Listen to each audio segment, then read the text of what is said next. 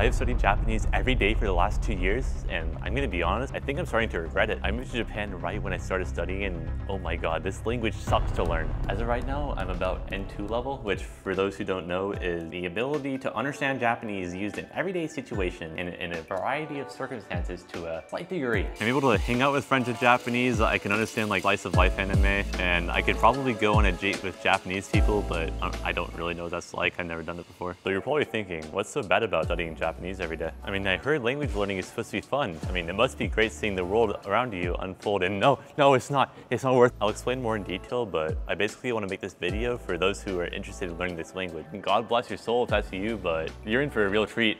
so basically, there's five levels of difficulty from learning a language from English. So category one is like Spanish and French, take about maybe like half a year to understand fully. And category two is just German. Category three is Indonesian, Malaysian, and Swahili. And category four is uh, all of those languages. There's a lot in category four. So category one to four are each divided by about six weeks of language learning time. You know, category one is like 24, category two is 32. And you know, that's cute and all, you know, you can get like proficiency in all these languages in like half a year to a year. It's pretty good, right? So what about Japanese? Well, Japanese is in category five, which, you know, must be like six weeks away from category four right? So if category four is 44, then it should only take about 50 weeks to learn Japanese, right? No, no, it's not 50 weeks. It's 88 weeks. 88 week. 88 weeks, that's about one year and eight months just to be considered generally proficient in Japanese. So Japanese is in category five with Chinese, Arabic, and Korean. And people love to argue which of these four languages are the hardest. So let's say you've dabbled in learning Japanese. You know, you made a little Duolingo account, you got gold for about four levels. So you know, you know about hiragana, katakana, you have a grasp on the meaning of about 50 kanji you're doing pretty good. And this is the point where I see most people quit because once they've gotten past Kana, this is when they start to look into the abyss. And the abyss looks back with cold, dark, and meaningless eyes. You start to realize maybe you don't want to learn this language. And you know you're swarmed, you're mentally overwhelmed by the idea of learning 2,200 kanji. And you know, all of these kanji, they have multiple readings and all of a sudden you had to learn over 10,000 words. Like you have no idea what you signed up for. In the Japanese learning community, you'll notice that the majority of people quit here because they just realize they're not really cut out for this. You know, maybe they're just like too mentally healthy to start learning Japanese to fluency. Maybe they have like a life or something. So before I go any further, I'm gonna try to explain the Japanese learning iceberg for you guys. I think looking at this iceberg can be a pretty helpful tool. And if you guys are thinking about learning Japanese, it might be good to keep this stuff in mind, you know? So at the tip of this iceberg, you have, you know, konnichiwa, arigato, sayonara, Yamete kudasai senpai. For some reason you know that. I know you don't, don't pretend you don't. You know what that means. You know, this is where about maybe 50% of you guys watching are. And I gotta be honest, it's a pretty lovely place to be. A little bit further down in the iceberg and you start to learn, you know, hiragana and katakana. This is where learning Japanese is the most fun, but you know, it's still above water level. I mean, once you learn katakana, you basically know like 30% of this language because they like to use their little funny version of English to describe most things. And just to show you how convenient and easy katakana is, let me show you some uh, Japanese words compared to their English meanings. Kohi, coffee. Computer, computer. Hamburger, hamburger. Okay, good, good, you're doing pretty good. What about consento, cream? What? No, Consento means power outlet and kurimu means complaint. What's wrong with you, you dirty-minded freak? What, what problems do you have? Why would you think that it means that? So yeah, at this point, you'll begin to get the idea that nothing in Japanese is rational. But you know what? Either way, you can continue because you're already a weekend and you already know so much. You know, at this rate, you'll be watching Rent a Girlfriend with Japanese subtitles. You know, you won't need to use any English. You'll 100% understand it. Pay full attention to your favorite waifu you don't need any subtitles to distract you from your favorite waifu and rent-a-girlfriend. I mean, like, let's be honest, if you're not planning on living in Japan, like, what reason do you have to learn Japanese anyway? So yeah, you've already learned about two of the three big alphabets. You know, you're feeling like you're making some pretty good progress. Good for you, man. You know, you're finally getting some exposure in a different language. You're learning words like watashi, anata, inu, chinchin, and you're understanding it in a different alphabet. Good for you.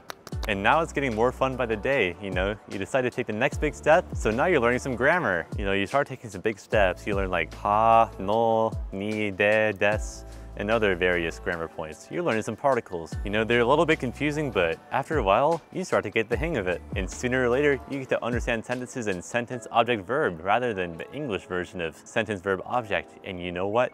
You're making some big progress. You know, just ask anybody how to use ha versus ga, and I promise they'll be able to explain it in a short and concise way. So once you've gone past particles, you've officially entered the surface of the water of this iceberg. You know basic grammar structure, maybe you know about 100 words. You know what? You're making some pretty fast progress. You know what? Maybe if I say, maybe you'll even understand me. So now that you got kana down, the next big step for you is kanji. But you hear everybody griping about it, but like, what's the big deal? I mean, for example, just look at the kanji for one. Ichi. No, no, no, that, not that one, not that one. This one, ichi. And look at the kanji for two. For two, ni. No, no, no, not, not that one. They're very easy and they make sense. I'm already beginning to understand words like Tokyo. It's awesome. But you know, then there's a little plot twist. What if I told you that the toll in Tokyo isn't actually pronounced toll on its own? Let me explain. I mean, just look at this character. Isn't it obvious? I mean, it's if you can read it, uh, obviously it says Higashi. And what do you think that means? Are you stupid? It means east, obviously. Okay, so let's take the same kanji and let's add another stroke to it. What do you think that means? North? South? West? No, you imbecile. You'll never know Japanese. It means car, and it's pronounced kuruma. Are you stupid? But it's not only read as kuruma because whenever you combine this kanji with another kanji, it's actually pronounced as sha, obviously. So at this point in your language learning journey, you're beginning to understand the difference between kunyomi and onyomi. Kunyomi is basically just how a kanji on its own forms like its own word. Like this, for example. Oh wait, that doesn't exist. Uh, uh, but onyomi is very simple. It's the sound that the kanji makes when it's combined with another word. So this one would be like, let's see, we have uh, se, na, jo, nari, naru, or se.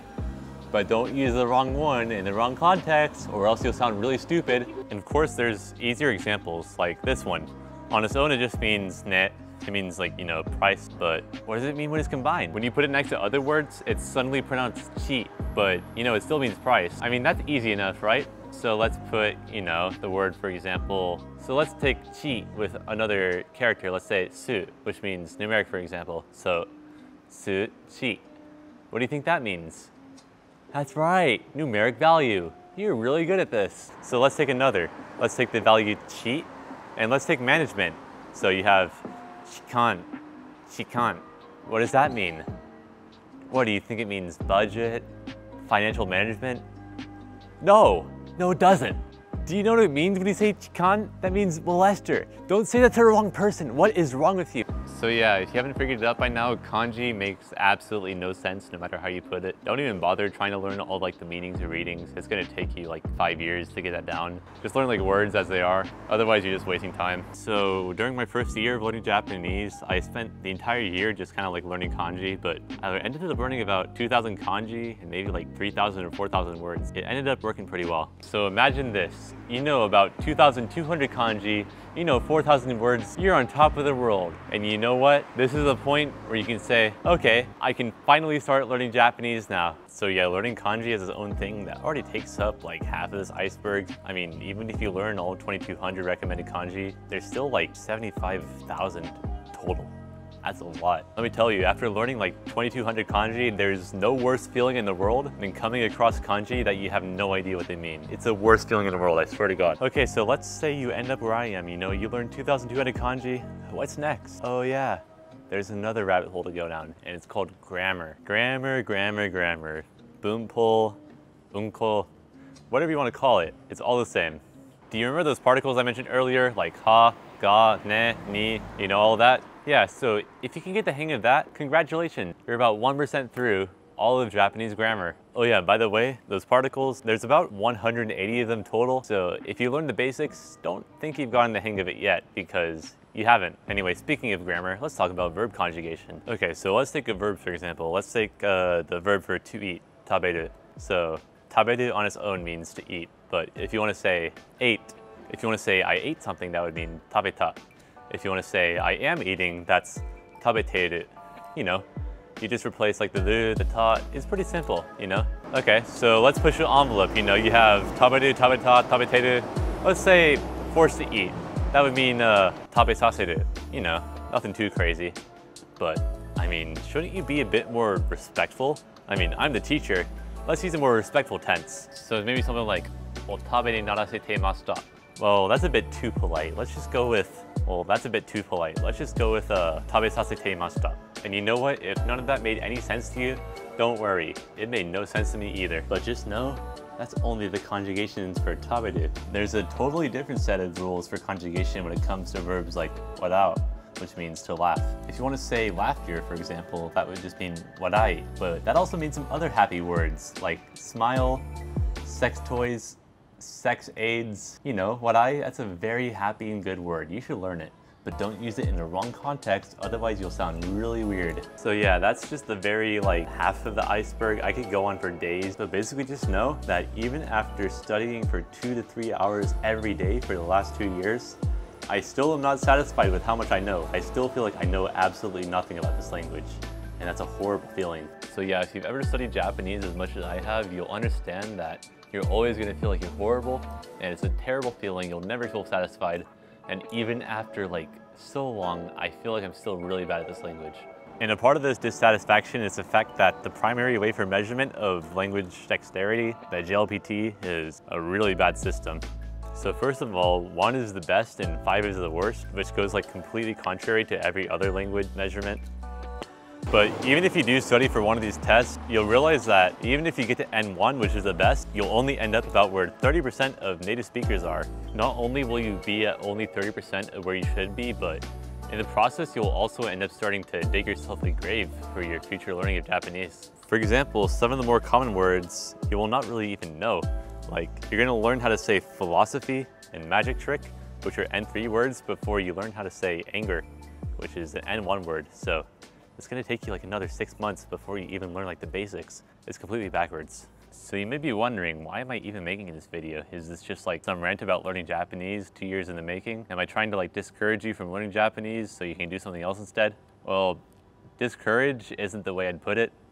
I prefer the word save let me explain. Okay, so here's a list that I found. Even though I said the JLPT is like a flawed measurement system and all of that, this list will illustrate what you can do in the amount of time that it takes to pass the JLPT level instead of learning Japanese. So instead of getting to N5, so let's say you're starting out with zero knowledge and you want to pass N5. It'll take about 462 hours of study time. You can either choose to learn Spanish to a very advanced level or you can just study Japanese to like a mediocre level. So once you get past N5, you'll find yourself at N4. You're gonna need another 300 hours of study time to get from N5 to N4, and that's gonna place you around 787 hours of total study time. You can get a train conductor license in Japan, and if you spent this time on other languages instead of Japanese, you could get to Spanish, French, and Italian to complete fluency, or you can choose to be subpar Japanese. So to get from N4 to N3, it's going to take you about another 550 hours of studying, totaling at 1,325 hours. At this point, you could learn, let's see, Spanish, French, Italian, German, and Portuguese. So what about N3 to N2? Well, let me ask you a question. You have four pills that you can take. So one pill gives you fluency in, let's see, Spanish, French, Italian, German, Portuguese, Dutch, Afrikaans, and maybe even Danish. You can take another pill and become a fully trained and capable pilot in that amount of time. Or you can take another pill and become a USA certified public accountant. You would make a lot of money if you did that. Or you can take a pill that allows you to understand the premise of a shonen anime without subtitles. Either way, taking this pill, you're gonna have to lose about 2,200 hours. So finally, there's N2 to N1. This is where I'm stuck personally. N2 requires about 2,200 hours of studying. Um, N1 requires a total of 4,000 hours of studying. 4,000 hours, you know, 4,000 hours of studying one language. You could spend 162 days on a cruise ship You could travel the entire world, experience multiple cultures, change your life, absolutely see everything in the world. You could go from one point in the world all the way back to that one point across the entire globe, or you can sit at your desk and be 30% as good at Japanese as a native speaker. It's your choice. Truth be told, I don't want to actually discourage you from learning the language. To be honest, I just want to save people's time. If after hearing this information, you don't have the will to learn Japanese anymore, you weren't really cut out to do it in the first place. I, I told you what you're getting into, and after receiving that information, you decided, okay, I don't want to learn this language. But let's say after I tell you all of this, after I tell you what all you can do in that amount of time, instead of learning Japanese, you still decide, no, I would rather learn this language to one third of the capacity as a native speaker than do any of that. In that case, you have my support. I'm gonna be honest. You have my entire support and I completely encourage you to learn this language. The hardest part isn't getting through the grammar or getting through the kanji. Honestly, after a while, it becomes easy. The hardest part is just waking up every day and being willing to just sacrifice two to three hours a day to just learning one language. The thing that personally drove me to learn Japanese is the fact that I live here and to some extent I feel like I owe the people that have treated me well is the effort of learning their language. My worst fear is that I go to some area in the middle of nowhere that doesn't speak English and I miss out on a lot of opportunities to get to know people despite the fact that I live here for two years, the fact that I can't like communicate with somebody and get to know them like terrifies me. It's really something I can't describe and even after 2,200 hours, maybe even longer at this point, like I would say it's worth it. And honestly, another big part of it is I was so driven to learn Japanese for the sake of being able to make YouTube videos that the foreigners that didn't bother to learn Japanese couldn't make. Truth be told, I really wanted to start YouTube like two years ago and I tried, but I realized that there's a huge barricade for the content I want to make just because I don't speak Japanese. So I decided I'm willing to like put two years of my life, throw them away just to like learn Japanese because I just really want to make this channel work. I want to give you guys the best content I can. And soon I'm going to be finally able to make some content where I get to put my language skills to use and I'm really excited to make that content. And you know, sometimes I have to ask myself, like, did I make the right decision to, you know, sacrifice two years of working on my dream I put that aside to learn Japanese? And honestly, the answer is probably no, because AI is going to be able to do it for me in the next 10 years.